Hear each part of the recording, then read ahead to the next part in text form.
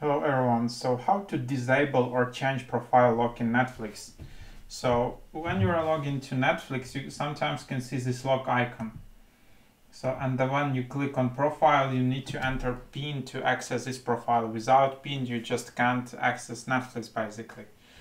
So if you want to disable that or you just want to change this PIN, here's how to do it. Uh, by the way, you can also go to forgot PIN and reset your PIN here.